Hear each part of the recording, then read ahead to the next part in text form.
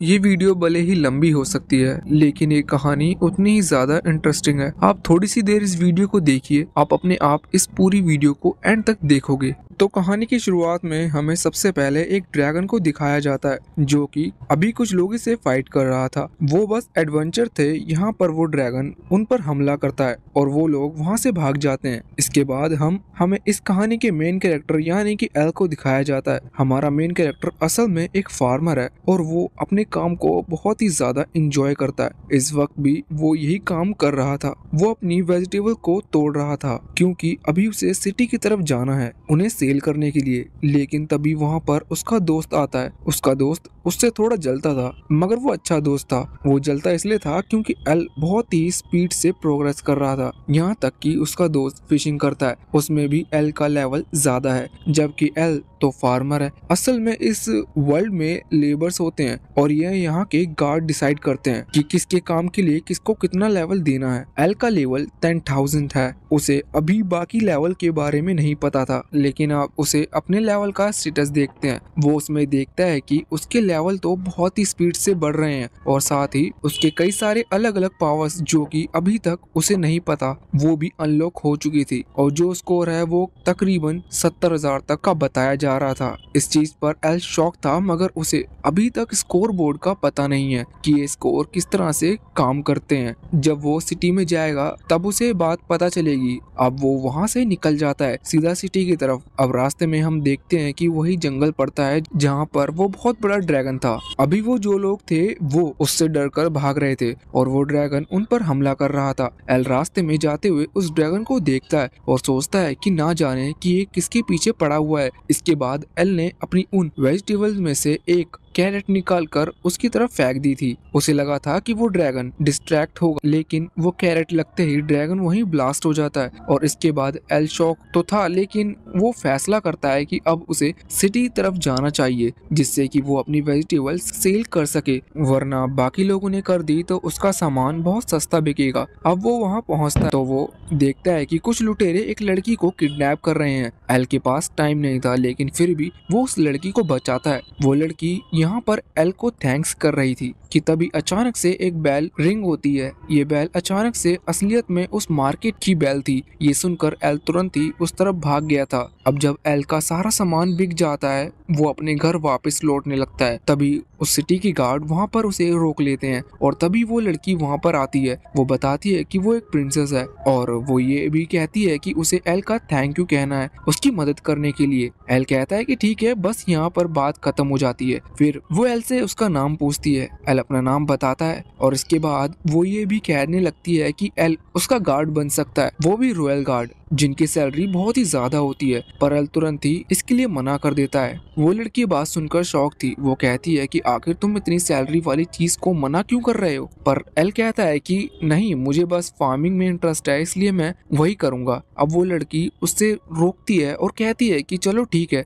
अगर तुम royal guard बनने को तैयार होते तो उसके बदले मैं तुम्हें तैतीस हज़ार स्क्वायर फीट की जगह दूँगी, जहाँ पर तुम जितनी मर्ज़ी चाहे उतनी फ़ार्मिंग कर सकते हो। ये बात सुनकर एल शौक था। वो कहता है कि आखिर तुम मुझे रॉयल गार्ड बनाना क्यों चाहती हो? तो इस बात पर लड़की बताती है कि तुमने एक एवरेज स्टेटस से ज़्यादा स्टेटस वाले आदमी को हराया है। ये बात सुनकर शौक था। वो पूछता है कि आखिर ये स्टेटस क्या होता है? इस पर वो लड़की उसे समझाती है कि असल में नॉर्मल जो लोग हैं, उनका स्टेटस यानी कि वो स्कोर 50 होता है। उससे ज़्यादा फिर नाइट कैप्टन पे आते हैं, जिनका 600 स्टेटस होता है, वो बहुत ज़्यादा ताकतवर होते हैं और उसके ऊपर लेजेंडरी स्टेटस आते हैं, जो की हज़ार तक स्टेटस ऑन करते हैं। एल बात सुनकर शौक था। अब प्रिंसेस उससे पूछती है की आखिर तुम्हारा स्टेटस क्या है? एल, उसे बता नहीं सकता था, क्योंकि हमें तो पता था कि एल को गॉड ने करीबन सत्तर हज़ार स्कोर का स्टेटस दिया था। इस वजह से वो अपना स्टेटस उसे नहीं दिखा रहा था। अब तभी वहाँ पर वही ग्रुप आ जाता है जो कि उस ड्रैगन से डर कर भाग रहा था। और वो यहाँ पर आकर प्रिंसेस को बताता है कि हम ड्रैगन से डर कर भाग रहे थे, कि तभी उस एस रैंक के ड्रैगन को किसी ने इस मामूली सी कैरेट से भगा दिया। ये बात सुनकर प्रिंसेस शॉक थी। वैसे जब वो एल की तरफ़ देखते हैं तो एल वहाँ पर नहीं था,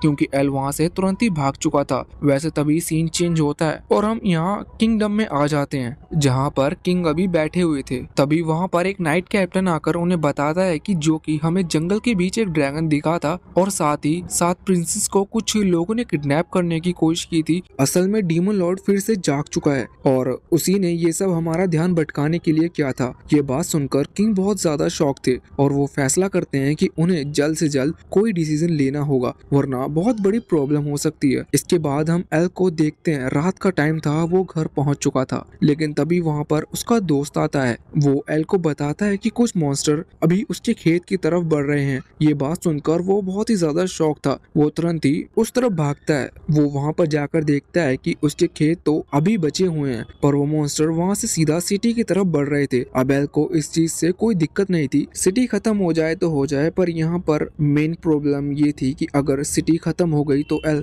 जो सब्ज़ियाँ वहाँ पर जाके बेचता था, उन्हें कौन खरीदेगा? इस वजह से अब उसे कुछ ना कुछ करना था। अब यहाँ से फिर से सीन चेंज होता है और हम देखते हैं कि किंग प्रिंसेस और उनके कुछ गार्ड्स अभी नाइट कैप्टन के साथ निकल चुके थे। उस जंगल की तरफ़ नाइट कैप्टन इस वक्त उन्हें ले जा रहा था। उस जगह पर जहाँ पर उसे खबर मिली थी कि डीमन लॉर्ड हो सकता है, उसे खत्म करने के लिए जा रहे थे। मगर हम देखते हैं कि अब एक वहाँ पर एंड आ जाता है, जहाँ पर पहुँच वो नाइट कैप्टन उन सभी से कहता है की हम डेस्टिनी पर पहुँच चुके हैं। अब बस सफ़र यहीं पर खत्म होता है। ये सुनकर किंग शौक थे। उन्हें कुछ भी समझ नहीं आया था। लेकिन अब नाइट कैप्टन पलटता है और उन पर हमला कर देता है, जिस वजह से किंग वहाँ से नीचे गिर जाते हैं। और इसके बाद हम देखते हैं कि नाइट कैप्टन की बॉडी से अजीब तरह की कुछ ब्लैक चीज़ निकल रही थी। और इसके बाद वो रिवील करता है कि असल में वही डीमन लॉर्ड है और वो वहाँ से बाकी गार्ड को भी मार देता है। साथ ही साथ वो ये भी रिवील करता है कि उसने ऐसा सब कुछ अगला किंग बनने के लिए किया था। वो यहाँ पर किंग और प्रिंसेस को मार देगा और खुद उनका रूप बदलकर वहाँ अगला किंग बनेगा। और इसके बाद अब वो बहुत ही पावरफुल अटैक वहाँ किंग की तरफ़ करता है। किंग इंजर्ड थे, लेकिन वो अपनी मल्टी शील्ड टेक्निक का इस्तेमाल करते हैं। वहाँ पर कई सारी शील्ड आ गई थी, जो कि उस अटैक को रोक रही थी। डिमोन लॉर्ड की पावर इतनी ज़्यादा है कि वो शील्ड भी अब एक एक करके टूटने लगी थी, पर प्रिंसेस भी यहाँ पर अपनी पावर का इस्तेमाल करती है क्रिएशन का यूज़ करती है, और उन शील्ड को फिर से रिक्रिएट करने लगती है। पर अब डिमन लॉर्ड अपनी पावर से एक रोप टाइप का स्नेक क्रिएट करता है जो कि उन सभी शील्ड को बहुत ही स्पीड से खत्म करने लगता है और इसके बाद वो अपनी डार्कनेस की पावर को रिलीज़ करता है। इस अटैक के बाद लग रहा था कि किंग और प्रिंसेस सरवाइव नहीं कर पाएँगे, लेकिन इतने में ही वहाँ पर एल आ चुका था। वो अपने फ़ार्मिंग के उस औज़ार से ज़मीन में मारता है, जिसके बाद वहाँ पर ज़मीन फटने लगती है। पर डीमन लॉर्ड की स्पीड की वजह से वहाँ पर वह बच गया था,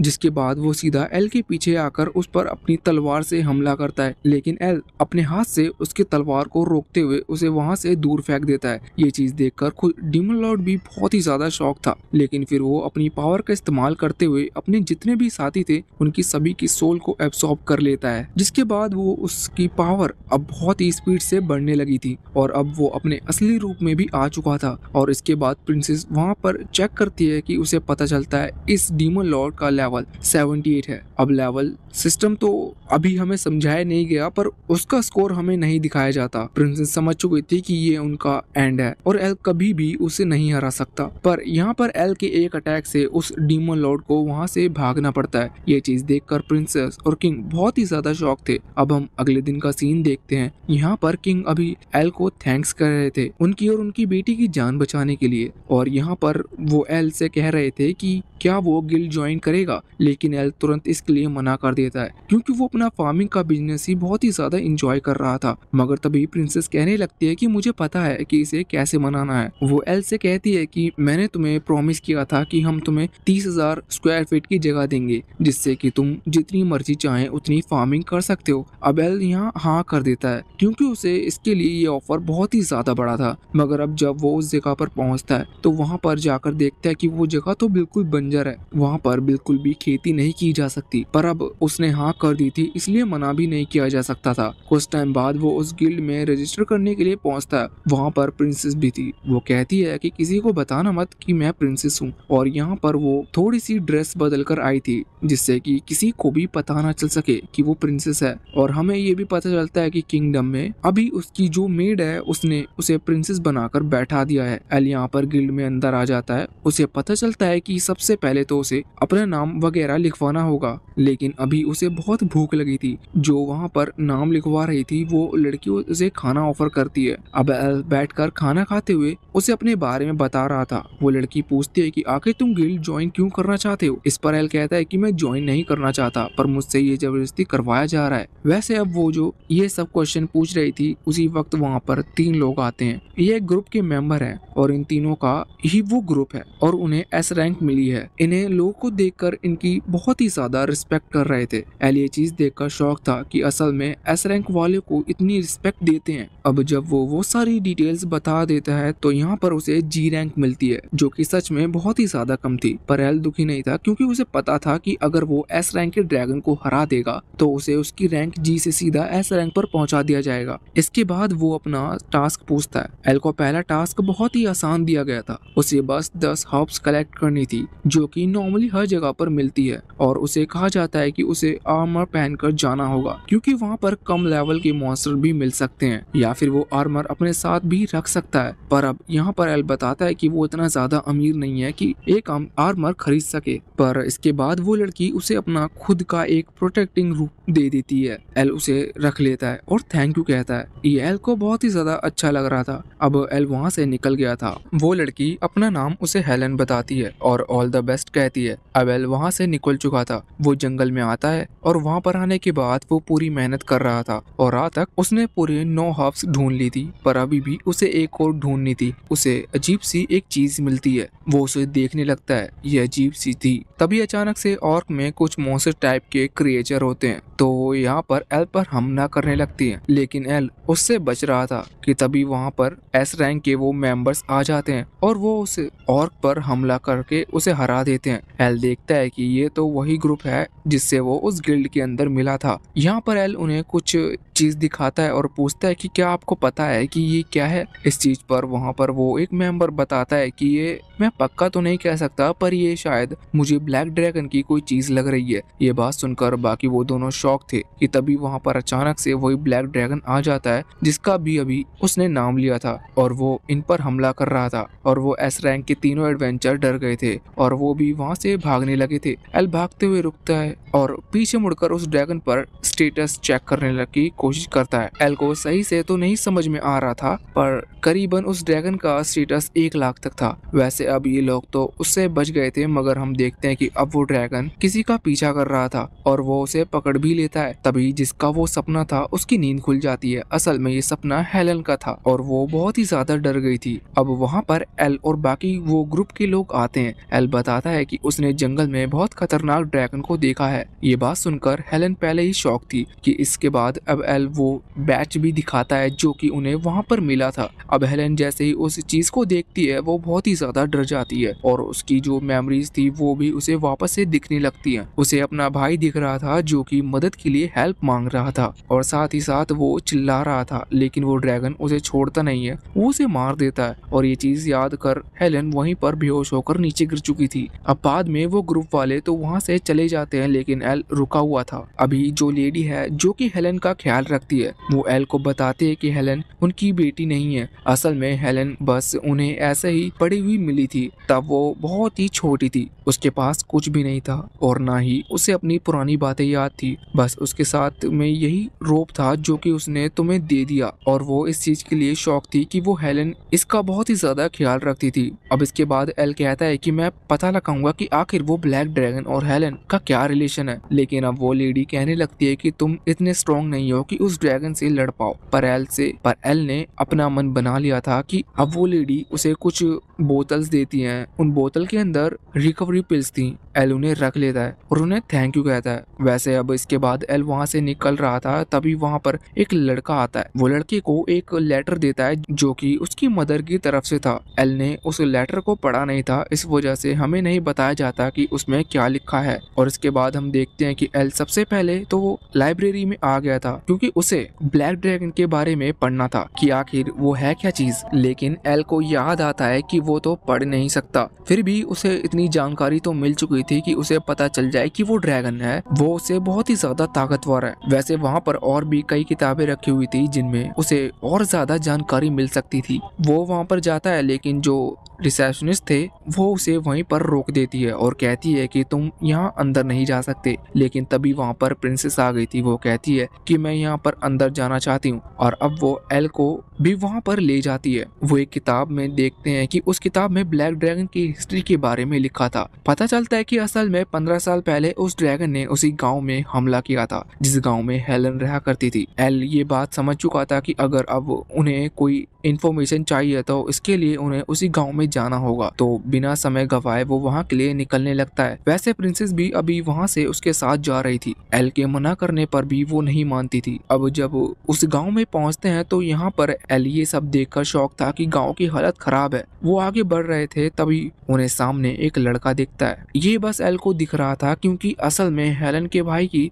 स्प्रिट थी। एल उसे देखकर शौक था। वो लड़का यहाँ पर थोड़ा ब्लर दिख रहा था और प्रिंसेस उसे नहीं देख पा रही थी। वो लड़का एल से पूछता है कि आखिर ये रोप तुम्हें किसने दिया? इस चीज़ पर एल बताता है कि ये उसे हेलन ने दिया है। मगर एल समझ गया जाता है कि असल में वो उस लड़के को इसी रोप के कारण देख पा रहा है। वो तुरंत ही प्रिंसेस को भी वो रोप पकड़ा देता है। प्रिंसेस तो पहले थोड़ा सा शर्मा गई थी, लेकिन फिर वो देखती है कि सच में उनके सामने एक लड़का खड़ा है। अब वो लड़का बताता है कि उसका नाम रे है और वो यहाँ पर बहुत टाइम से इंतज़ार कर रहा है कि कोई इस रोप को पहनकर यहाँ पर आए, जिससे वो थोड़ी बात कर सके। वो बताता है कि पंद्रह साल पहले वो रोज इस तरह बहुत हार्ड ट्रेनिंग कर रहा था। उसकी एज बहुत कम थी, लेकिन वो लेजेंडरी एल बनना चाहता था, जिस वजह से वो बहुत ही ज़्यादा हार्ड ट्रेनिंग करता था। लेकिन एक दिन अचानक से वहाँ उनके गाँव पर ब्लैक ड्रैगन ने हमला कर दिया और सब लोग वहाँ से डरकर भागने लगे। और इस चीज़ को देखकर रे भी वहाँ से भाग रहा था, पर अचानक से एक फैमिली को वो ड्रैगन पकड़ लेता है। उस फैमिली में एक ओल्ड वुमेन थी जो की भाग नहीं सकती थी। इस वजह से वो ड्रैगन उन्हें खाने ही वाला था, पर रे सामने आकर उन्हें बचाने की कोशिश करता है, पर वो ड्रैगन उसके सामने ही उन्हें खा जाता है और खाते ही आज पूरा गाँव यहाँ पर मारा जाएगा। हम देखते हैं कि गाँव के सभी लोग यहाँ पर मारे जा सकते थे। यह देखते हुए रे को अपनी सिस्टर की चिंता होती है। वो उसे कहता है कि हमें यहाँ से निकलना होगा और इसके बाद अब वो दोनों वहाँ से गाँव से भागने लगते हैं। लेकिन इसका कोई फ़ायदा नहीं था, क्योंकि वो ब्लैक ड्रैगन वहाँ से ज़्यादा तेज़ी से उड़ते हुए उनका पीछा कर रहा था और इसके बाद अब वो इनके सामने आकर रुक जाता है। रे देखता है कि उसकी सिस्टर अब खतरे में है। इस वजह से वो अब उसके सामने आ गया था और ड्रैगन से लड़ते हुए कह रहा था कि सिस्टर तुम यहाँ से भाग जाओ, मैं रोक लूँगा। इसके बाद वो उस ड्रैगन पर हमला भी करता है। ड्रैगन की थोड़ी सी चोट लग रही थी, पर वो अपने आप ही हील हो गई थी। ड्रैगन ये देख कर इम्प्रेस था, लेकिन उसे इन लोगों को परेशान करने में मज़ा आ रहा था। इस वजह से वो रे को बाइट करता है और रे अब इतना इंजर्ड हो चुका था कि अब वो ज़िंदा भी नहीं बच सकता था, पर अभी वो मरा नहीं था। वो ब्लैक ड्रैगन रे की सिस्टर यानी कि हेलन से कहता है कि मैं तुम्हें ज़िंदा छोड़ रहा हूँ, लेकिन मैं तुम्हें प्रॉमिस करता हूँ कि पंद्रह साल बाद मैं तुम्हारी सिटी पर फिर से हमला करूँगा और तुम्हें खत्म कर दूँगा। ये बात सुनकर रे उस ड्रैगन से कहता है कि तुम भले ही तुम आज क्यों ना मुझे मार दो, लेकिन मैं मेरी सिस्टर को फिर भी कुछ नहीं होने दूँगा। ये बात सुनकर ड्रैगन रे की सोल को छोड़ देता है। असल में वो ब्लैक ड्रैगन किसी की भी सोल खा सकता था। जिस वजह से फिर वो आदमी वहाँ पर मारा जाएगा, फिर वो कुछ नहीं है। लेकिन यहाँ पर उसने उसकी सोल को छोड़ दिया था। इस वजह से रे अभी एल और प्रिंसेस से बात कर पा रहा है। वैसे इसके बाद हम वापस से करंट टाइम में आते हैं। यहाँ पर रे बताता है कि असल में वो ड्रैगन हर बार ऐसा ही करता है। वो किसी न किसी को ज़िंदा ही छोड़ देता है, जिससे कि उसकी डरावनी कहानियाँ सबके बीच फैलती रहे। इसके बाद रे कहता है कि उस ड्रैगन को हराने का मुझे कोई रास्ता नहीं पता, लेकिन मैं बस चाहता हूँ कि मेरी सिस्टर को ये बात पता चले, जिससे कि वो यहाँ से कहीं दूर भाग सके। ये बात सुनते ही एल प्रिंसेस को उठाता है और तुरंत वापस किंगडम की तरफ़ भागने लगता है। वो बहुत ही जल्दी वहाँ पर पहुँच चुके थे। वहाँ पर पहुँच एल सभी हेलन को ढूंढ रहा था। हेलन कहीं नहीं मिल रही थी। दूसरे सीन में हम देखते हैं कि रात होने वाली थी। हेलन इस वक्त उसी जंगल में होते हुए गुजर रही थी, क्योंकि उसे बार बार वो ड्रैगन और अपना भाई दिख रहे थे। अब तभी वहाँ पर डार्क और फैलता है और वो ब्लैक ड्रैगन उसके सामने आ जाता है। उसे देखकर बहुत ही ज़्यादा शौक थी और उसे याद आ रहा था कि उसके भाई की जान उसी ड्रैगन की वजह से गई थी। अभी हेलन के साथ में एक चाकू भी था। वो ड्रैगन ये देखने के लिए बहुत ही उत्सुक था कि आखिर हेलन अब क्या करेगी? मगर हेलन कहती है कि तुम मुझे मारना चाहो तो मार दो, लेकिन मेरे दोस्त को जाने दो। इस सिटी के लोगों ने तुम्हारा कुछ नहीं बिगाड़ा। पर वो ड्रैगन कहता है कि ऐसा तो तुम्हारे गाँव वालों ने फिर भी मेरा कुछ नहीं बिगाड़ा था, लेकिन तुम सभी को मरना होगा। और इसके बाद अब वो ड्रैगन हेलन पर हमला करने वाला था, पर इतने में ही वहाँ सामने आ जाता है। हम देखते हैं कि हेलन भी खुद को मारने वाली थी, पर एल ने पहले तो उसका हाथ रोक लिया था, लेकिन जो ड्रैगन का अटैक था, वो एल को वहाँ से दूर फेंक देता है और एल जाकर एक पेड़ से टकराता है। ड्रैगन ये देख शौक था और वो कहता है कि, अरे वाह, मेरे इस अटैक से तो आज तक कोई भी ह्यूमंस नहीं बच पाया था। इस पर एल कहता है कि, मैं कोई ह्यूमन नहीं हूँ, मैं एक फार्मर हूँ। और इतना कहते हुए एल सीधा ही उस ड्रैगन को पंच मारते हुए, जिस वजह से वो ड्रैगन ही वहाँ से फिक गया था और सीधा जाकर पेड़ से टकरा गया था और इस चीज़ से पेड़ वहाँ से उखड़ चुके थे। मगर इस चीज़ में अब उस ड्रैगन को ज़्यादा गुस्सा आ चुका था। वो अपनी पूरी पावर से इनके ऊपर हमला कर रहा था। पर एल उसके हर एक अटैक से बच रहा था। यहाँ पर हम हेलन को देखते हैं कि जो कि इस वक्त बहुत दुखी थी और कह रही थी कि मैं नहीं चाहती कि मेरा भाई की तरह ही मेरी वजह से किसी की भी जान जाए। पर अब हम देखते हैं कि वो ड्रैगन यहाँ पर फायर बॉल का यूज़ करता है। पर एल उससे बच जाता है और हेलन को लेकर वहाँ से भागने लगता है। हेलन उससे माफ़ी मांग रही थी और कह रही थी कि मुझे छोड़कर अगर तुम यहाँ से चले जाते हो तो तुम इससे तुम्हारी जान बच सकती है। पर एल कहता है कि नहीं, वो ये भी बताता है कि वो उसके भाई रे से मिला था। रे ने कहा कि वो बहुत ही ज़्यादा खुश है, भले ही आज वो ज़िंदा नहीं है, पर वो एक अच्छे काम के लिए और अपनी बहन को बचाने में मर रहा है। इस वजह से उसके चेहरे पर अभी स्माइल थी। ये बात सुनकर हेलन और ज़्यादा दुखी हो गई थी, मगर एल जो कुछ भी कह रहा था हेलन को उसमें, और वो उसमें अपने भाई को देख रही थी। इस वजह से वो खुश भी थी। अब तभी अचानक से आसमान में एक लाइट दिखने लगती है, जिसके बाद एल देखता है कि उसका जो स्टेटस था वो धीरे धीरे कम हो रहा है। एल ये देख कर शौक था कि आखिर उसकी पावर कम क्यों हो रही है? इतने में ही वो ब्लैक ड्रैगन उस पर हमला करने वाला था। लेकिन एल उसे बहुत ही तेज़ी से पंच मारता है, जिसके बाद वो ब्लैक ड्रैगन वहाँ से बहुत ही दूर फिक चुका था। एल कहता है कि अब मैं थोड़ा स्ट्रॉन्ग फील कर रहा हूँ, और सिर्फ़ होप ही है जो कि हमें यहाँ पर ज़िंदा बचा सकती है। ये सुनकर हेलन उसके पास आ रही थी और अचानक से हेलन उसके पेट पर चाकू मार देती है। एल तो कुछ समझ नहीं पा रहा था कि आखिर उसने ऐसा क्यों किया। एल उसके बाद वो रिकवरी पिल्सिस की बोतल निकालता है, लेकिन उसके हाथ से वो नीचे गिर जाती है। हम देखते हैं कि हेलन की आँखें अभी लाल थी और हमें पता चलता है कि असल में हेलन की बॉडी से उस ब्लैक ड्रैगन की स्पिरिट ने कंट्रोल कर रखा है। इस वजह से अभी हेलन अपने माइंड पर कंट्रोल खो चुकी थी और वो खुद से अभी कुछ नहीं कह रही थी, लेकिन तभी अचानक से वहाँ पर एक और सिल्वर ड्रैगन आ जाता है। हम देखते हैं कि असल में ये मिराज ड्रैगन है, जो कि पावरफुल है। लेकिन इसके अटैक के बाद भी यहाँ पर वो लोग कुछ नहीं कर सकते थे। ब्लैक ड्रैगन को हराने के लिए, क्योंकि ब्लैक ड्रैगन बहुत ही ताकतवर था, और वो जानता था कि एल कभी भी एक लड़की पर तो हमला नहीं करेगा, इसलिए उसे एक और एडवांटेज था। लेकिन यहाँ पर एल आगे बढ़ता है, और तुरंत ही हेलन पर हमला करना स्टार्ट कर देता है, और इस वजह से ब्लैक ड्रैगन वहाँ से नीचे गिर जाता है। साथ ही वो एक लड़की की बॉडी में था, इस वजह से वो अपनी पूरी पावर का इस्तेमाल नहीं कर पा रहा था। इसलिए अब वो फैसला करता है कि वो एल की बॉडी को कंट्रोल करेगा, जिससे कि एल अपनी पावर का यूज़ नहीं कर पाएगा। और बाकी वहाँ पर कोई और है कि नहीं, इतना स्ट्रॉन्ग जो कि उसे हरा सके। लेकिन अब वो एल की बॉडी में अपनी स्पिरिट को भेज रहा था, तभी उसे पता चलता है कि एल का माइंड पूरी तरह से खाली है। वहाँ पर सिर्फ़ एक चीज़ थी कि एल फ़ार्मिंग कर रहा है और फ़सल बो रहा है। यह देखकर वो ड्रैगन बहुत ही ज़्यादा शौक था, क्योंकि असल में वो सिर्फ़ डिज़ायर को कंट्रोल करना चाहता था और इससे वो लोग की कमज़ोरी पर हमला कर सके। हमला कर उनकी स्प्रिट को बंदी नहीं बना सकता था, लेकिन एल को तो कोई कमज़ोरी ही उसे समझ में नहीं आ रही थी। इस वजह से उसकी स्पिरिट वापस से पीछे की तरफ़ फिक जाती है और हेलन वहाँ से नीचे गिर जाती है।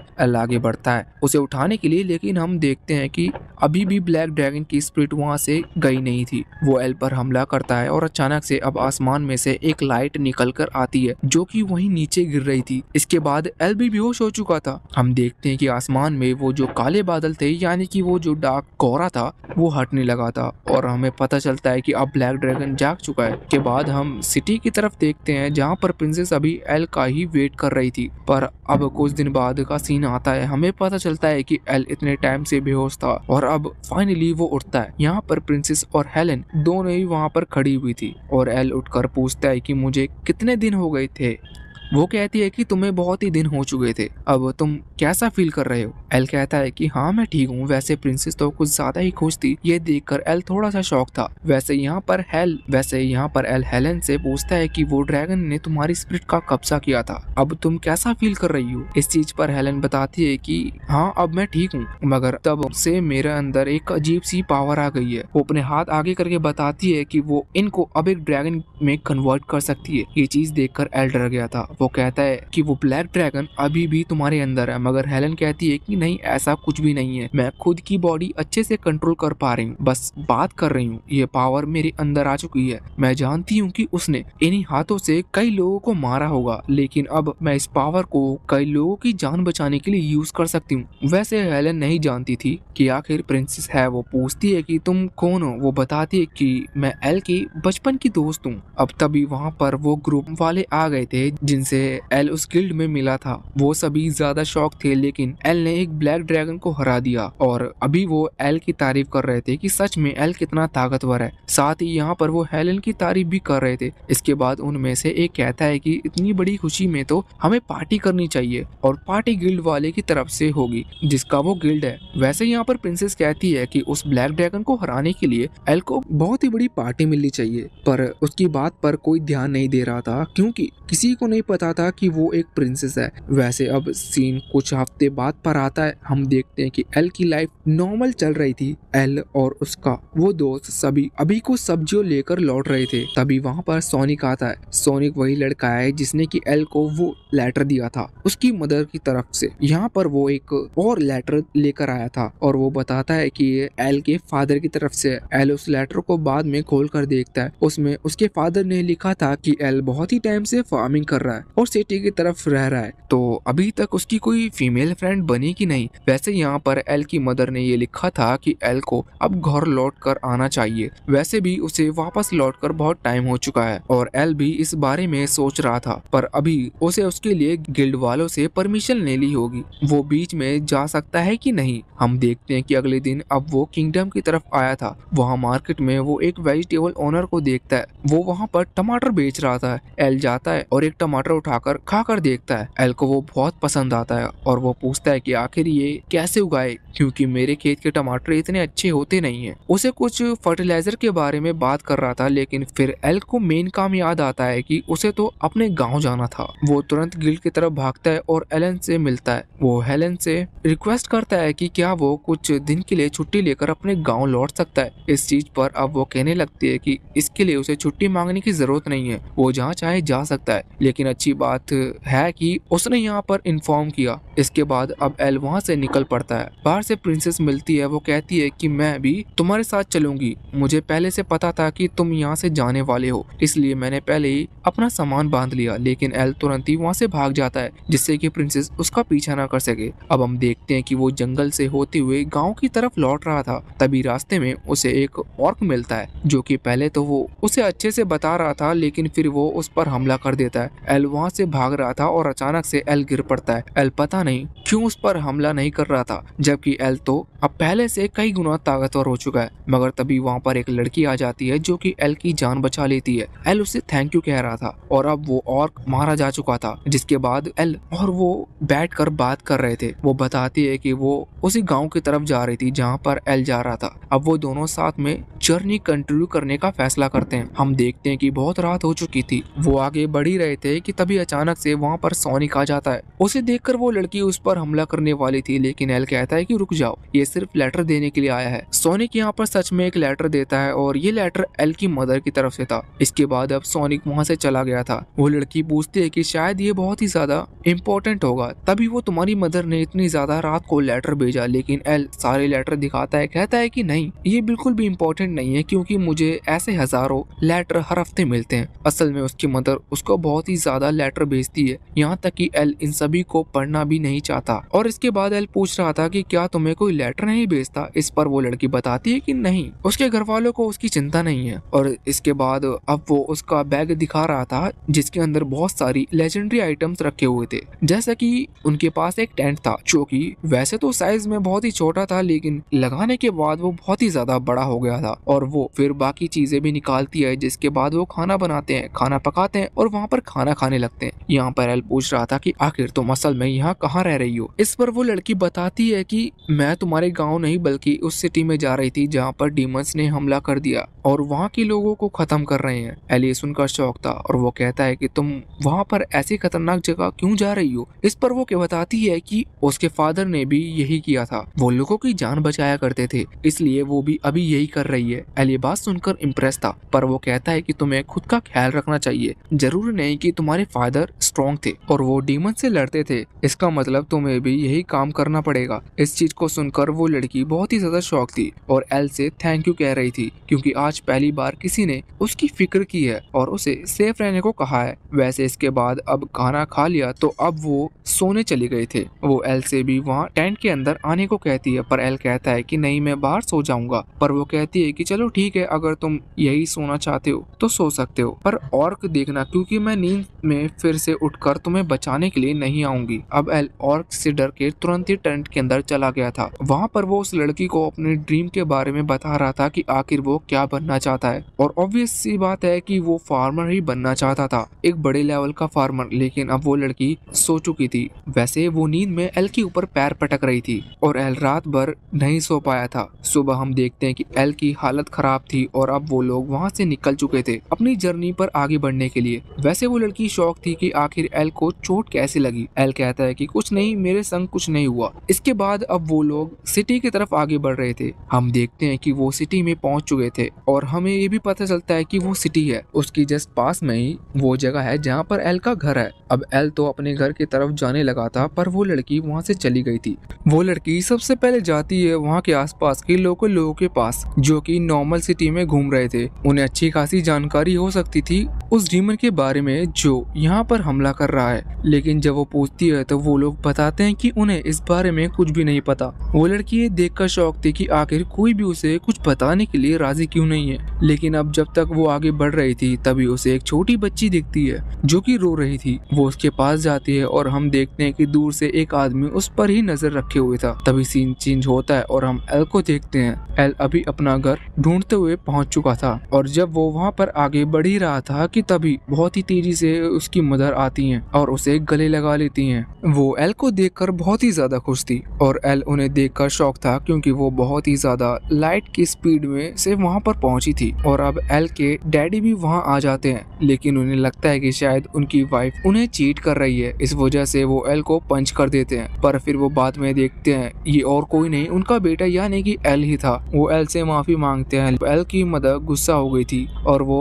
उसके डैड को बहुत ही बुरी तरह से पीटती है। बाद में खाने की टेबल पर हम देखते हैं कि जब वो खाना खा रहे थे तो यहाँ पर एल के डैड को जला हुआ खाना खाने को मिलता है। अब खाना खाते वक्त वो उन्हें उसकी नई दोस्त के बारे में बताता है, जो कि अभी उसके साथ यहाँ इस सिटी की तरफ़ आई थी। वैसे इसके बाद जब उसका खाना पीना हो जाता है तो एल अपने फादर को बता रहा था कि उसे एक खास फर्टिलाइज़र के बारे में पता चला है। उसके फादर कहते हैं कि हाँ वो यहाँ पर मिल जाएगा, लेकिन वो मैं तुम्हें सुबह दूँगा। अभी तुम्हें सो जाना चाहिए। और लेकिन बस बात ये थी कि वो जो लड़की थी, उसने एल को मैप में एक होटल के बारे में बताया था। लेकिन उसके फादर बताते हैं कि वहाँ पर कोई होटल है। ही नहीं, इसलिए एल को भी यहाँ रुक जाना चाहिए। अब एल रात भर वहीं रुकता है और सुबह वो फर्टिलाइज़र लेकर वहाँ से निकल पड़ता है, उस लड़की को ढूँढने के लिए। वैसे अब जब वो आगे बढ़ रहा था, तभी रास्ते में वो देखता है कि भीड़ लगी हुई है। वहाँ पर एक आदमी हेल्प के लिए मदद मांग रहा था और चिल्ला रहा था कि एक नीले बालों वाली लड़की पर किसी डीमन ने हमला कर दिया है और वो भी उस जंगल के अंदर एल ये बात सुनकर तुरंत समझ जाता है कि ये वही लड़की है और इसके बाद अब वो उसे बचाने के लिए वहाँ से भाग चुका था। वैसे हमें पता चलता है कि ये बस इस आदमी की चाल थी और वो जो भीड़ थी, वो इस आदमी ने अपनी पावर के इल्यूजन क्रिएट कर रखे थे। अब वहाँ जंगल के अंदर हम देखते हैं कि अभी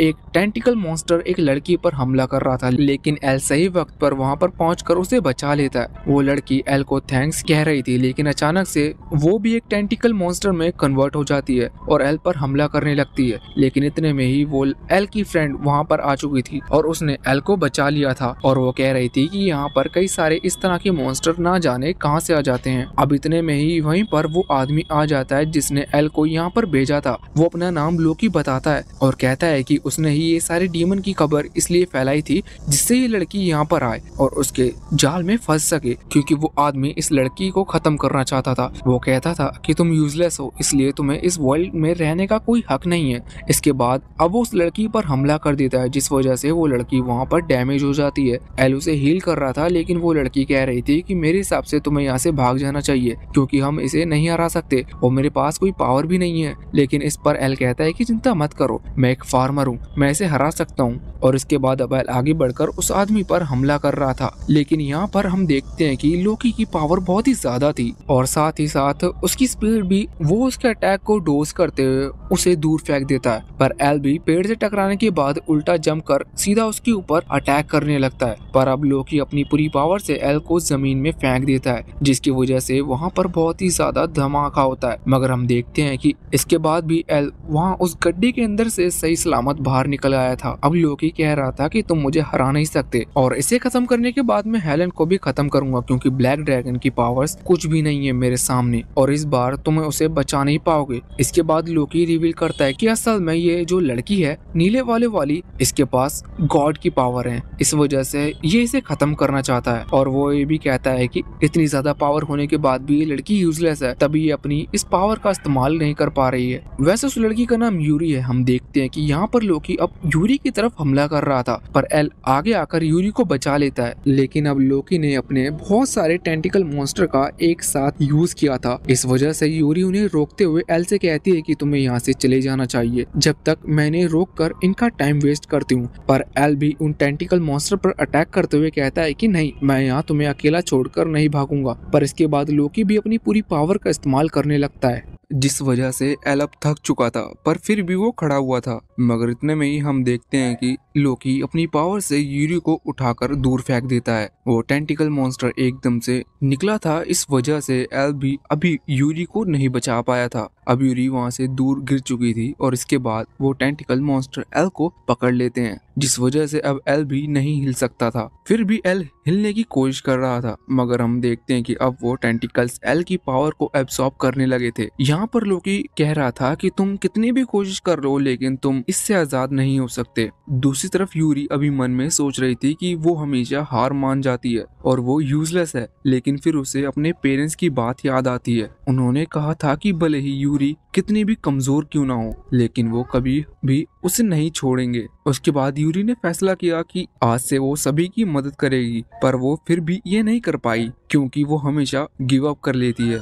यहाँ पर हम देखते हैं कि अभी वो टेंटिकल पूरी तरह से वाइट हो चुके थे और जम गए थे। लोकी को ये बात समझ नहीं आ रही थी, पर एल बताता है कि असल में उसके पास जो फर्टिलाइज़र था, वो वाटर को एब्जॉर्ब करता है। इसलिए टेंटिकल उसकी पावर को एब्जॉर्ब करे। इससे पहले ही उस फर्टिलाइज़र ने उस टेंटिकल के अंदर के वाटर को एब्जॉर्ब कर लिया। इस वजह से वो यहाँ पर ड्राई हो गए। लेकिन लोकी कहता है कि तुम ऐसी कितनी भी ट्रिक्स क्यों ना चल लो, लेकिन तुम मुझे हरा नहीं पाओगे। अब एल उस पर हमला स्टार्ट कर देता है। ये चीज़ देखकर यूरी बहुत ज़्यादा शौक थी। वो सोच रही थी कि हर कोई मुझे यूजलेस कहता है। इसका ये कारण नहीं है कि मैं स्ट्रांग नहीं हूँ, बल्कि इसका ये कारण है कि मैं हमेशा गिव अप कर देती हूँ, जबकि एल के पास अभी बिल्कुल पावर नहीं है और ना ही एनर्जी है। लेकिन फिर भी वो हार नहीं मान रहा। यहाँ पर एल हार रहा था, लेकिन हम देखते हैं कि अचानक से यूरी उठकर लोकी को अपनी तलवार मार देती है। अभी लोकी मरा नहीं था, वो पीछे हट गया था। इसके बाद यूरी अपनी सारी गॉड की पावर का इस्तेमाल करते हुए लोकी पर हमला कर देती है। और ये सीधा लोकी को जाकर लग रही थी। लोकी कह रहा था कि भले ही बुराई कितनी बार हार जाए, लेकिन अंत में जीत उसी की होनी है। तुम मुझे अभी हरा दोगे, लेकिन फिर से कोई ना कोई आकर तुम्हें रोकेगा। और इसके बाद हम देखते हैं कि लोकी की पूरी बॉडी डिसअपेयर हो जाती है, और इसके बाद इन लोगों की जीत हो चुकी थी। मगर हम देखते हैं कि एल अब इंजर्ड हो चुका था, और उसके अंदर बिल्कुल भी एनर्जी नहीं थी। इस वजह से वो नीचे गिर गया था, पर यूरी उसे संभाल लेती है। अब वो एल तो बेहोश हो चुका था, लेकिन यूरी कह रही थी कि सच में मुझे पहली बार ऐसी फीलिंग आ रही है,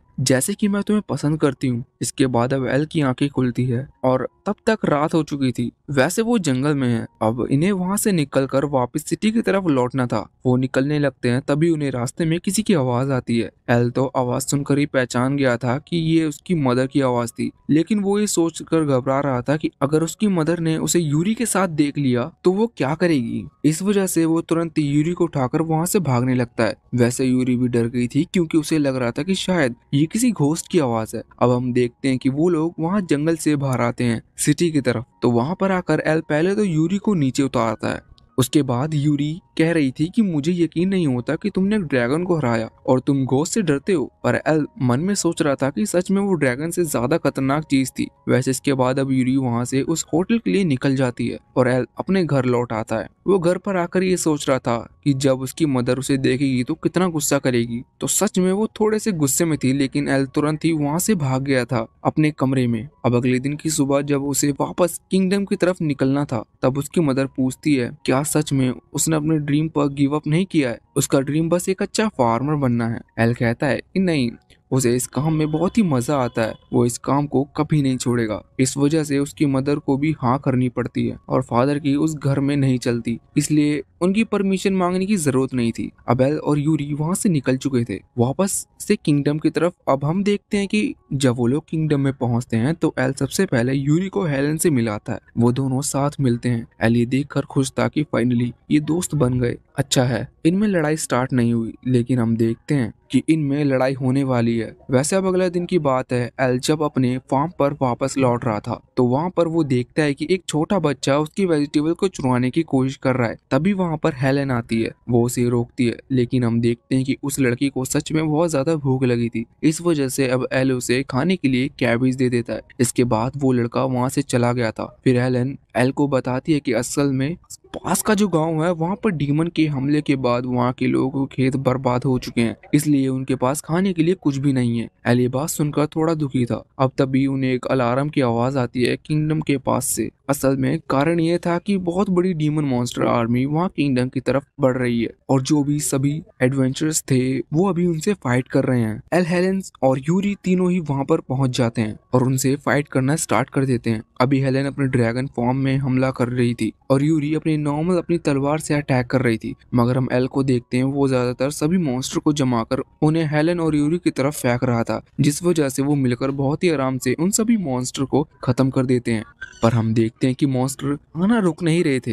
एक के बाद एक मॉन्स्टर आते जा रहे थे, तभी वहाँ पर एक नाइट आता है। नाइट यानी कि सोल्जर्स जो कि बहुत ही ज़्यादा अच्छे कपड़ों में था और उसका चेहरा नहीं दिख रहा था। उसके पास एक तलवार थी, जो कि हॉली सॉर्ड मानी जाती है। उस तलवार को देखते ही यहाँ पर जितने भी डीमन मॉन्स्टर थे, वो डर कर हार मान गए थे और वहाँ से भाग गए थे। ये चीज़ देखकर सभी लोग बहुत ही ज़्यादा शौक थे। अब हम रात का सीन देखते हैं। हम ही नोटिस करते हैं कि अभी प्रिंसेस वहाँ पर आई थी और एल से कह रही थी कि अब हम फिर से नहीं मिल पाएँगे। एल ये बात सुनकर शौक था। उसे कुछ भी समझ नहीं आया था, पर फिर भी ज़्यादा सवाल नहीं पूछता और उसके बाद प्रिंसेस वहाँ पर अपनी उस मेड के साथ चली जाती है। अगले दिन एल को पता चलता है कि असल में प्रिंसेस की शादी एक दूसरे प्रिंस के साथ होने वाली है। ये सुनकर एल शौक था। वो सोच रहा था कि आखिर प्रिंसेस ने उसे ये बात बताई क्यों नहीं? वो ये भी सोचता है कि वो आखिर है कौन जो उसे इतनी बड़ी बात बताएगी। वैसे एल को हेलन और यूरी से पता चलता है कि असल में प्रिंसेस की शादी उसी प्रिंस के साथ हो रही है, जो कि एक दिन पहले वो होली सोड लेकर आया था और उसने उन मॉन्स्टर को भगाया था। शायद उसी वजह से किंग उनकी शादी करा रहे हैं, मगर एल को वो तलवार थोड़ी सी अजीब लग रही थी।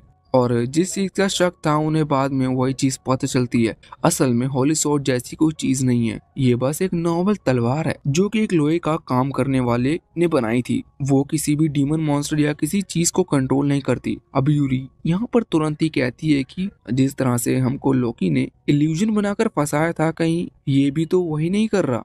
कि वो बस इल्यूजन हो या फिर उन मॉन्स्टर को कोई कंट्रोल कर रहा हो। और उन्हें पहले से ही कहा गया था कि उन्हें वहाँ से भागना है। ये बात सुनकर एल शौक था और वो कहता है कि इसका मतलब फिर वो प्रिंसेस की जान खतरे में वैसे इसके बाद हम देखते हैं वो इस वक्त बाकी सभी राज्यों के किंग से बात कर रहा था। वो सभी यहाँ पर उसकी हेल्प मांगने के लिए आए थे और उसे पैसे देने के लिए आए थे, जिससे कि वो अपनी होली सोर्ट की मदद से उनके किंगडम को प्रोटेक्ट करे और कोई भी डीमन आर्मी उन पर हमला ना करे। इससे प्रिंस का प्लान पूरी तरह से कामयाब होता जा रहा था। धीरे धीरे वो सारे किंगडम को अपना बना रहा था और कोई भी एक किंगडम अब उसकी कोई भी बात सुनने को इग्नोर नहीं कर सकता था। तभी हम देखते हैं कि वहाँ पर एक लड़का आता है और वो प्रिंस से माफ़ी मांगते हुए कहता है कि अब मैं और अपने लोगों को उन पर हमला करने के लिए नहीं भेजूँगा। असल में ये लड़का जो कि उन डीमन मॉन्स्टर को वहाँ पर भेजता था, मगर इसकी भी गलती नहीं थी, क्योंकि असल में प्रिंस ने इसकी वाइफ को किडनैप कर रखा है और ये ज़बरदस्ती ऐसा करवा रहा है। वो लड़का कहता है की मैं पहले ही अपने बहुत सारे साथियों को खो चुका हूँ।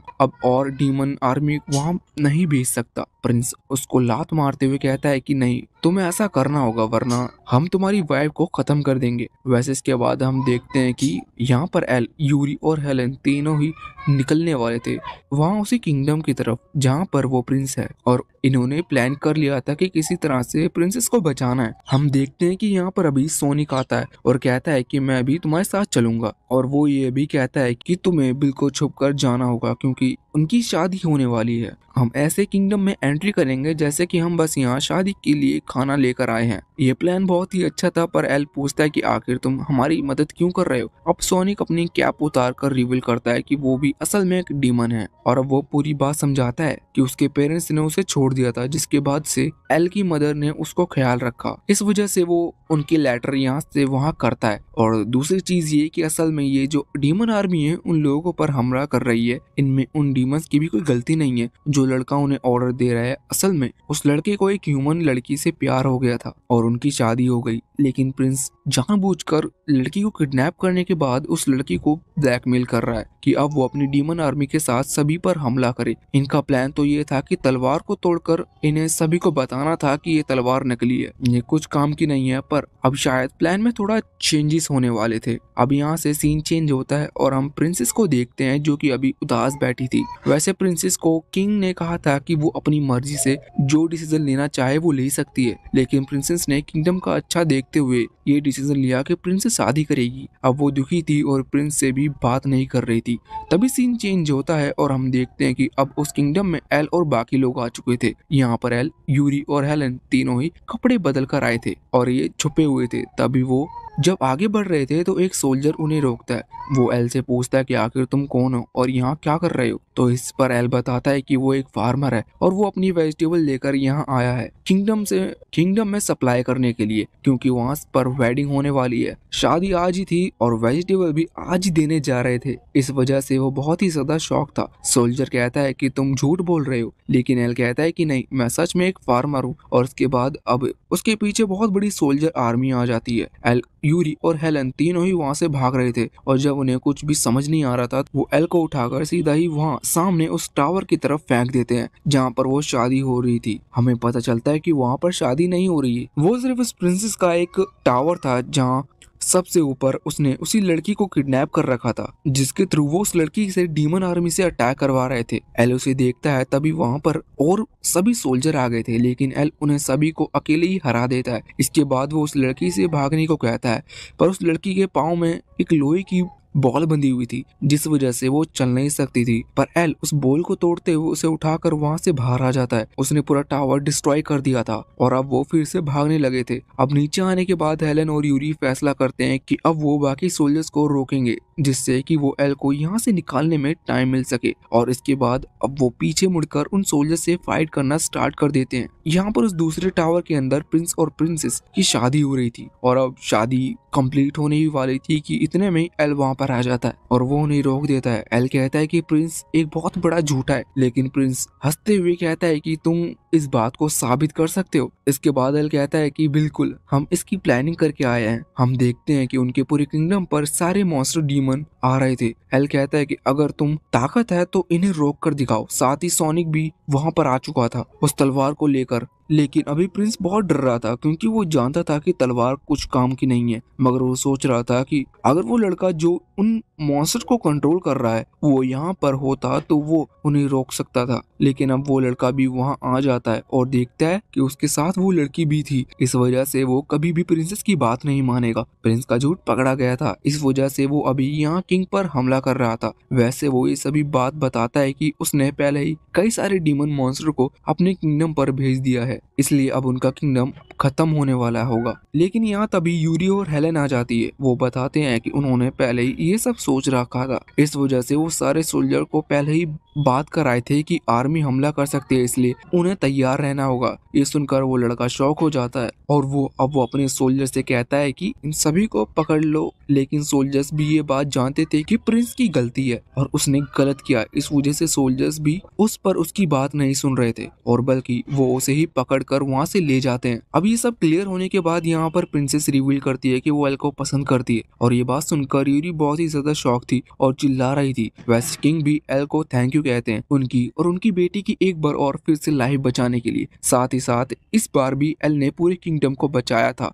वैसे ही सब क्लियर हो जाने के बाद हम देखते हैं कि अब यूरी और प्रिंसेस में बहुत भयंकर दुश्मनी छिड़ चुकी थी। एल अपने फार्म में अकेला था, वहाँ पर अपनी वेजिटेबल चेक कर रहा था। तब यूरी और प्रिंसेस दोनों वहाँ पर आते हैं और एल से क्लियर लैंग्वेज में पूछते हैं कि आखिर वो किसे पसंद करता है? एल कहता है कि नहीं, वो उन दोनों को ही पसंद नहीं करता। वो किसी और लड़की को पसंद करता है। इस बात से यूरी और प्रिंसेस दोनों ही बहुत ही ज़्यादा शौक थे। और फिर एल वहाँ से भाग गया था। घर पर जाकर अभी वो एक सच में किसी दूसरी लड़की के बारे में सोच रहा था। यह बहुत पुरानी कहानी है। असल में आज से बहुत साल पहले एल जब छोटा था, तब उसके फादर यहाँ यही फ़ार्मिंग का काम करते थे। और बाकी आसपास के लोग भी यही करते थे। क्योंकि वो तो गाँव से थे। एल फ़ार्मिंग में इतना ज़्यादा खुश था कि उनके वहाँ पर जितने भी वेजिटेबल्स होते थे एल सबको अकेले ही संभाल लेता था। एल के फादर भी इतना काम नहीं कर पाते थे जितना एल कर सकता था। साथ ही एल अच्छा भी था, वो बाकी सभी को अपनी वेजिटेबल देता और सब उसे थैंक यू कहते हैं। लेकिन एक दिन एल नोटिस करता है कि कुछ लोग एक छोटी सी बच्ची को पकड़ कर ले जा रहे थे और उस बच्ची के कपड़े में से कुछ वेजिटेबल गिरती हैं। ये चीज़ देखकर एल शॉक था। वो अपने नेबर से पूछता है कि आखिर ये कौन है और ये लोग इसे पकड़ कर क्यूँ जा रहे हैं? उसकी नेबर वाली लेडी बताती है कि असल में ये लड़की अक्सर यहाँ पर चोरी करने के लिए आती है क्योंकि इसके पेरेंट्स नहीं है। इस वजह से ये इन चीज़ों को बेचकर थोड़ा बहुत पैसा कमाती है और खाती है। एल ये चीज़ देखकर बहुत ही दुखी था। इतने में ही वो लड़की वहाँ से भागते हुए आती है और एल की वो बकेट जिसके अंदर बहुत सारे पोटैटोस रखे थे, उसे लेकर वहाँ से भाग जाती है। वैसे एल उसे पकड़ने के लिए नहीं भागा था, मगर कुछ देर बाद वो उसी जगह पर पहुँचता है और यहाँ पर वो अपने साथ थोड़ा बहुत सूप बनाकर लाया था। हम देखते हैं कि वो छोटी बच्ची इस वक्त वही कच्चे आलू खा रही थी। एल उसे देखता है और उसके पास जाकर वो सूप देने लगता है, लेकिन वो लड़की डर के मारे वहाँ से भाग रही थी। एल कहता है कि तुम्हें भागने की ज़रूरत नहीं है और इसके बाद एल उस सूप को वहीं पर रख कर वहाँ से चला गया था। अगले दिन एल फिर से आता है और इस बार वो एप्पल पाई लेकर आया था। वो वहाँ पर रखता है और इसके बाद फिर से जाने लगता है। हम देखते हैं कि इस बार वो लड़की उसका इंतज़ार कर रही थी, पेड़ के ऊपर बैठकर। अगले दिन एल फिर से आता है और आज वो सैंडविच बनाकर लाया था। इस बार वो लड़की भागी नहीं थी क्योंकि वो इस बार वहीं वेट कर रही थी और अब वो एल के साथ ही वहीं पर बैठकर उस सैंडविच को खाने लगती है। एल बताता है कि वो फ़ार्मिंग के काम को इसलिए पसंद करता है क्योंकि वो जो उगाता है, उसे खाकर लोग खुश होते हैं। वो ये खुशी देखना चाहता है और फाइनली आज उसने वो खुशी देख ली। अब वो उस लड़की को उसका नाम पूछता है। खुद का नाम भी बताता है। उस लड़की का नाम ओलिविया था और अब वो लड़की बहुत ही खुश थी एल से मिलकर क्योंकि उसे रोज खाने के लिए मिल रहा था और उसे चोरी भी नहीं करनी पड़ रही थी। लेकिन तभी वहाँ पर दो और लोग आ जाते हैं, जिनके खेतों में जिनके खेतों से ओलिविया ने कुछ सब्ज़ी चुराई थी। वो यहाँ पर ओलिविया को पकड़ लेते हैं। ओलिविया उनसे माफ़ी मांग रही थी और अब एल भी माफ़ी मांगते हुए कहता है कि, अगर आप चाहें तो मैं आपके खेत में काम करूँगा। बस आप इसे जाने दो। लेकिन वो अभी ओलिविया को नहीं छोड़ रहे थे। उसी समय एल के फादर वहाँ पर आ जाते हैं। वो सारी सिचुएशन को पूछते हैं कि यहाँ पर क्या चल रहा है। उन्हें लगा कि एल ने कुछ किया है। पर अब जब वो लोग ये बात बताते हैं। तो यहाँ पर एल के फादर अपने पास से वो बड़ा सा बैग जिसके अंदर बहुत सारे राइस हैं, वो उन्हें दे देते हैं और कहते हैं कि ये बहुत सारे महँगे चावल हैं, तुम इन्हें बेचकर बहुत सारे पैसे कमा सकते हो। और इससे आराम से तुम्हारा जितना भी नुकसान हुआ था, वो भरपाई हो जाएगी। वो लोग नोटिस करते हैं कि सच में उनकी तो बहुत ही कम वेजिटेबल चुराई थी और ये उनके लिए बहुत ही फ़ायदा का सौदा था, इसलिए वो तुरंत ही इसके लिए मान जाते हैं और वो चावल लेकर चले जाते हैं। मगर ओलिविया ये सब देखकर बहुत दुखी थी। वो तुरंत ही अपने उस गुफा के अंदर चली जाती है, जहाँ पर वो रहा करती थी। और वहाँ से वो आलू जो कि उसने एल से चुराए थे, वो उसे लौटाने लगती है और कहती है कि मुझे माफ़ कर दो। पर एल कहता है कि नहीं, तुम ये रख सकती हो। वैसे अब एल के फादर देखते हैं कि ये कोई सॉल्यूशन नहीं है कि उसे रोज यहाँ पर जाकर खाना दिया जाए और वो यहाँ इस गुफा में अकेले रहे। इसलिए वो कहते हैं कि अगर तुम चाहो तो तुम हमारे खेतों में मदद कर सकती हो और हमारे साथ ही रह सकती हो। इसके बदले में हम तुम्हें खाना देंगे। एल उसे भी अच्छे से समझाता है तो ओलिविया बहुत ही खुश हो जाती है और कहती है कि हाँ अब से मैं तुम्हारे साथ ही काम करूँगी। अब दो साल बीत गए थे, हम देखते हैं कि ओलिविया बहुत ही ज़्यादा खुश थी उनके साथ काम करते हुए, और अब वो एल को अपना बड़ा भाई कहने लगी थी। अब ऐसे ही टाइम बीतता जा रहा था, वो मस्त एंजॉय करते हुए काम कर रहे थे।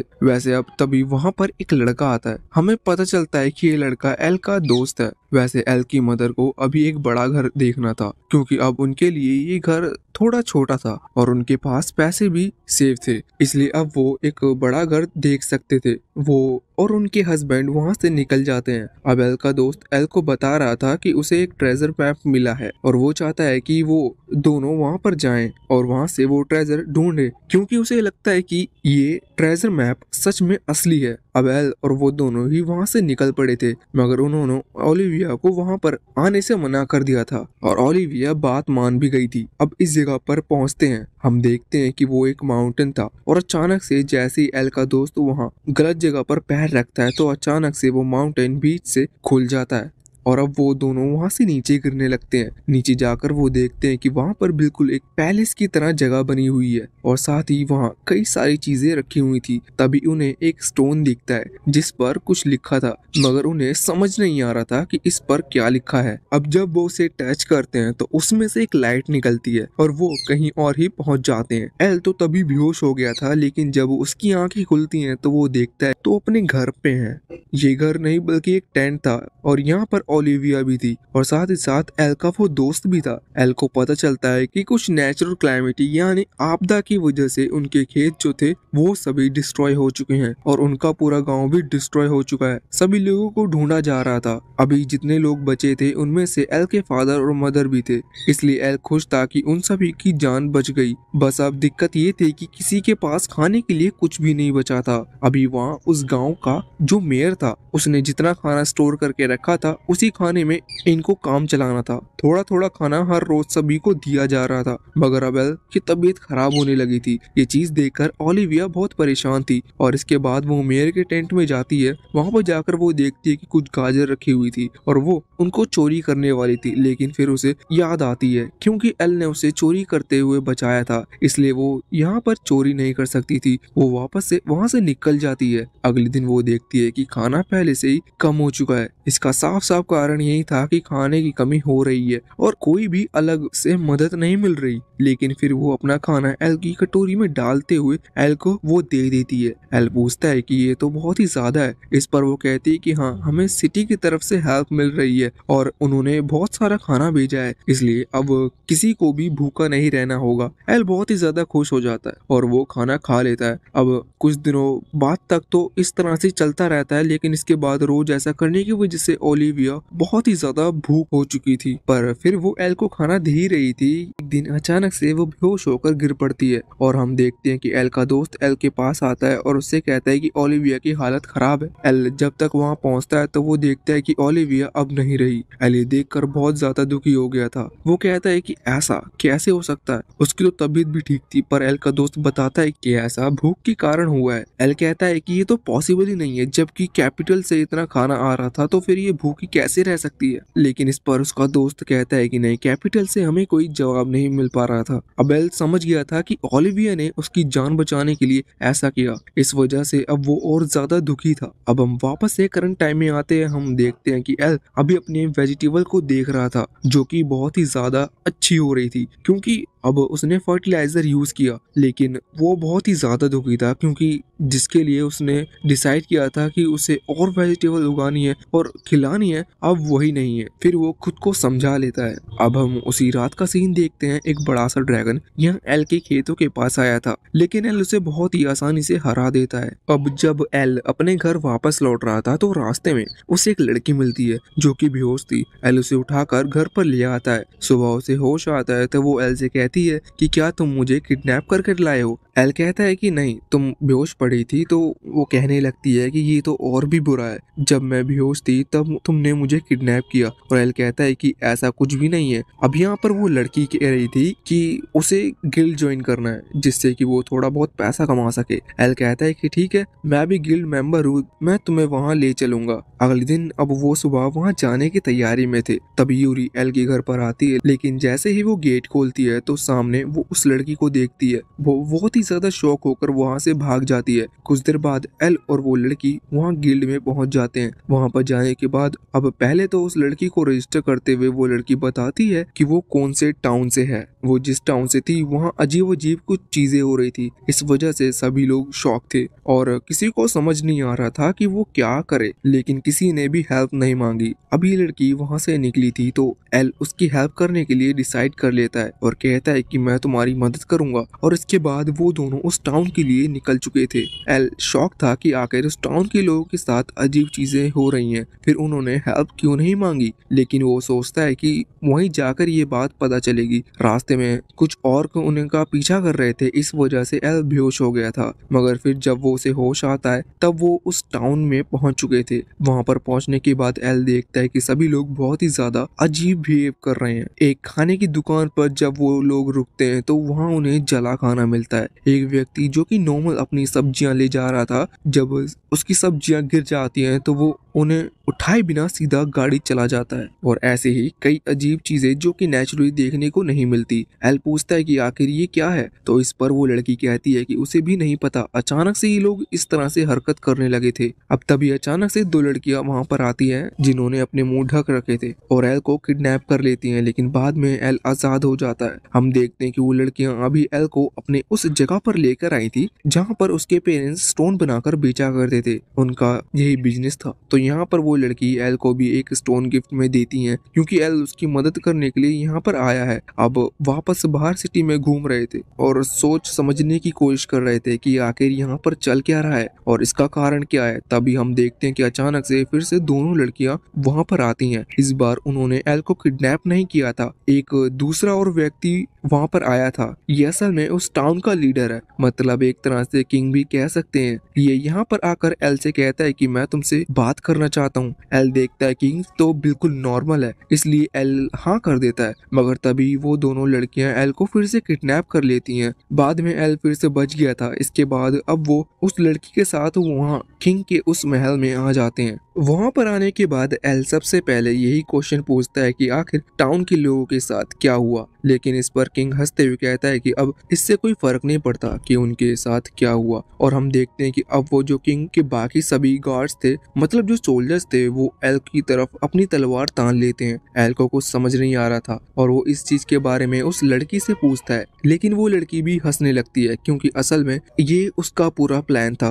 वही एल को यहाँ पर फंसा कर लेकर आई थी और इसके बाद अब वहाँ एक डीमन आता है जिसने इन सभी को कंट्रोल कर रखा था। और इस वजह से टाउन के लोग ऐसा बिहेव कर रहे थे। एल उस लड़की से पूछता है कि आखिर तुमने ऐसा क्यों किया? इस चीज़ पर वो लड़की कहती है कि वो भी ऐसा नहीं करना चाहती थी, पर वो इसके कंट्रोल में थी और साथ ही साथ इसने उसके पेरेंट्स को भी किडनैप कर रखा है, जिस वजह से उसने उसे इनकी बात माननी पड़ी। एल कहता है कि चलो कोई बात नहीं, हम देखते हैं कि एल ने तुरंत फाइट कर आसपास के जितने भी सोल्जर्स थे, उन सभी को हरा दिया था। लेकिन वो डीमन कहता है कि तुम मुझे नहीं हरा सकते। लेकिन एल एक चीज़ से शौक था कि आखिर वो एल को यहाँ पर पकड़ कर क्यों लाए? मतलब इतनी मेहनत उन्होंने क्यों की? तो इस चीज़ पर वो डीमन बताता है कि वो एक टाइम पर सिर्फ़ एक ही व्यक्ति को कंट्रोल कर सकता है। और इस टाउन में बहुत सारे लोग थे। इस वजह से जो बाहर बड़ा सा स्टैचू है, उसने उसे कंट्रोल कर लिया और उसके थ्रू बाकी लोगों को कंट्रोल किया, जिससे अब वो पूरे टाउन को कंट्रोल किया हुआ है। लेकिन उसने इस बीच एल के बारे में सुना कि एल ने किस तरह से ब्लैक ड्रैगन और साथ ही साथ लोकी को खत्म किया। इस वजह से वो जानता था कि एल सच में ताकतवर है और अगर उसने एल को कंट्रोल कर लिया, फिर वो बाकी लोगों को हराना बहुत ही आसान हो जाएगा। बाकी लोगों को कंट्रोल करने की ज़रूरत ही नहीं।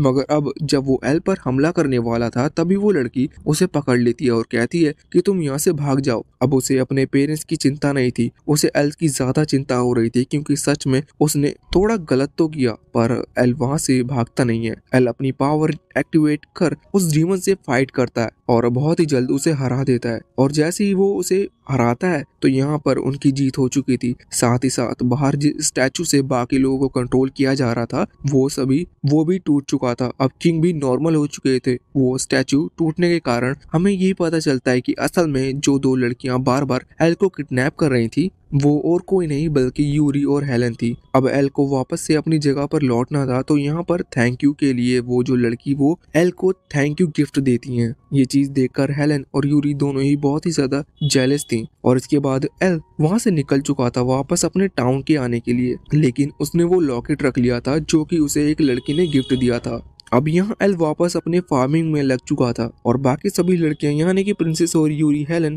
तीनों ही उसकी मदद कर रही थी। अब हम देखते हैं कि एल की क्रॉप धीरे धीरे खराब हो रही थी। असल में कुछ इंसेक्ट जो कि उसकी क्रॉप खराब कर रहे थे। एल को इस चीज़ से बहुत ही गुस्सा आता है। अब बाकी जो सब्ज़ियाँ थी वो ठीक थी। एल उन्हें सेल करने के लिए मार्केट ले गया था। तभी वहाँ पर किंग आते हैं और वो एल की और प्रिंसेस की बात यहाँ पर छेड़ रहे थे। उनकी मैरिज की और साथ ही वो एल को फ़ार्मिंग करते हुए कि वो एल को और ज़्यादा जगह देंगे फ़ार्मिंग के लिए। साथ ही बहुत ही ज़्यादा महँगे टूल्स इन जिन्हें एल अफोर्ड भी नहीं कर सकता। अब एल इस चीज़ पर बहुत ही ज़्यादा खुश था, लेकिन यूरी उसे रोकने लगती है। तभी वहाँ पर प्रिंसेस को गुस्सा आ जाता है कि वो एल को क्यों रोक रही है? इसलिए वो यूरी की तरफ़ पोटैटो फेंक कर मारती है, पर वो एल को लग जाता है और एल वहाँ बेहोश हो जाता है। अब हम देखते हैं कि एल अभी किसी आवाज़ सुन रहा था। ये असल में गॉड की आवाज़ थी। वो एल से कह रहे थे कि हम जल्द ही मिलेंगे। एल उसे रोकने के लिए आवाज़ लगाता है, लेकिन इतने में एल होश में आ चुका था और वो अभी किंग के सामने था। इसके बाद वो किंग को कुछ वेजिटेबल देता है और फिर किंग वहाँ से चले जाते हैं।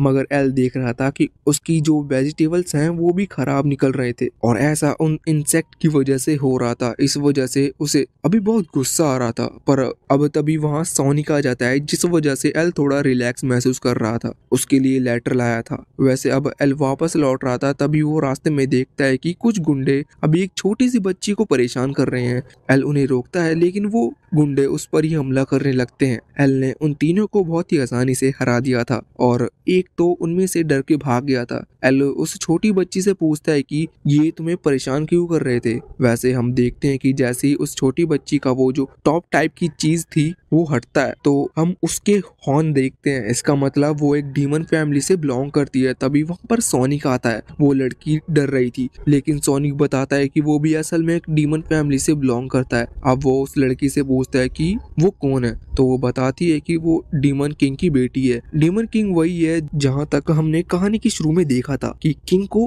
बेवकूफ़ बनाया गया था, लेकिन एल ने बचा लिया था। तो यहाँ पर वो बताती है कि वो अपने किंगडम में थी, लेकिन उसके क्रिएटर यहाँ पर भेज दिए, क्योंकि उसने किंगडम पर बहुत बड़ा खतरा आ गया था। ये बात सुनकर एल फैसला करता है कि वो उसकी मदद करेगा। ये चीज़ सुनकर सोनी कहने लगता है कि भाई, वो समुद्र के दूसरी तरफ़ है और वहाँ पहुँचने के लिए तुम्हें एक बड़ी शिप और बहुत ही ज़्यादा खर्चा होने वाला है। पर एल कहता है कि, नहीं, उसकी ज़रूरत तो उसे नहीं है। पहले तो वो उससे कहता है कि तुम मेरे फार्म का ख्याल रखना। मैं बहुत ही जल्द लौटने की कोशिश करूँगा। और इसके बाद अब वो छोटी सी बच्ची को उठाता है और तुरंत उसके किंगडम की तरफ़ जाने लगता है। रास्ते में हम देखते हैं कि एल सभी समुद्र के ऊपर चलते हुए जा रहा था। ऐसा बस उसकी स्पीड के कारण हो रहा था, क्योंकि वो बहुत तेज भाग रहा था। अब बहुत ही ज़्यादा समय के बाद वो लोग वहाँ पहुँच जाते हैं और वो लड़की बहुत ही ज़्यादा शौक थी कि एल इतनी तेज भाग रहा था। साथ ही साथ उसकी हालत भी खराब हो चुकी थी, पर एल कहता है कि मुझे माफ़ करना, मगर वो खुश थी कि एल यहाँ उसे बहुत ही जल्दी ले आया और अब वो उसके किंगडम को बचा सकता था। साथ ही वो यहाँ पर उसे भैया कह रही थी, जिस वजह से एल को ओलिविया की याद आती है और वो थोड़ा सा दुखी हो जाता है। वैसे इसके बाद अब यहाँ पर उस लड़की का केयर टेकर आ गया था। वो यहाँ पर एल को देखकर शौक था और एल पर अटैक करने लगता है। लेकिन वो लड़की उससे कहती है कि नहीं, एल उसकी मदद करने के लिए यहाँ पर आया है, पर केयर टेकर उसकी बात नहीं सुनता और एल पर अटैक करता है। एल समझ गया था कि ये शायद किसी के कंट्रोल में है। एल उसके अटैक से बच रहा था और अब एल उस पर अटैक कर उसे नीचे गिरा देता है। पर हम देखते हैं कि अब वो उस लड़की पर भी हमला करने लगा था। ये देखकर एल कंफर्म था कि सच में वो किसी के कंट्रोल में है। एल अपनी पावर से उसके अटैक को रोक रहा था, पर अब वो केयर टेकर अपनी पूरी पावर लगाकर एल पर हमला करने वाला था। इतने में ही एल की मदर वहाँ पर आ जाती है और उसे पंच मारकर नीचे गिरा देती है। वो बताते हैं की सोनिक से उन्हें पता चला की एल यहाँ किंगडम में आ रहा है। इसकी वजह से वो भी यहाँ पर आ गई। वैसे इसके बाद अब वो छोटी बच्ची कह रही थी कि आप बहुत स्ट्रॉन्ग हो, इसलिए इस लड़ाई में आप हमारी बहुत ही मदद कर सकती हो। वैसे अब एल की मदर भी आगे बढ़ने लगी थी। हम देखते हैं कि एल को थोड़ा अजीब लग रहा था। अब जब वो किंगडम पहुँचते हैं तो वहाँ पर देखते हैं कि किंग बेहोश पड़े हुए थे और बाकी सोल्जर्स की हालत खराब थी। एक सोल्जर उस बच्ची से कहता है कि प्रिंसेस आप यहाँ से भाग जाइए, बहुत खतरा है यहाँ। और तभी हम देखते हैं कि अचानक से एल की मदर उसी बच्चे को मारने लगती है, मगर एल सामने आकर उन्हें रोक लेता है और कहता है कि आप मेरी मदर हो ही नहीं सकती। ये बात सुनकर मैं पहले ही समझ गया था। इस पर उसकी मदर कहते हैं कि हाँ तुम बहुत समझदार हो गए हो। इसके बाद वो अपनी असली रूप दिखा हम देखते हैं कि वो कोई और नहीं, बल्कि ओलिविया थी। ये चीज़ देखकर एल बहुत ही ज़्यादा शौक था। उसे खुद ही अपनी आँखों पर यकीन नहीं हो रहा था, क्योंकि उसकी डेड बॉडी को खुद उसने अपनी आँखों से देखा था। मगर इसके बाद अब ये पार्ट यहीं पर एंड होता है। अगर आपको ये कहानी पसंद आई हो तो इस वीडियो को लाइक और खासकर चैनल को सब्सक्राइब ज़रूर करें। मिलते हैं ऐसी और भी अमेजिंग कहानियों के साथ अगली वीडियो में।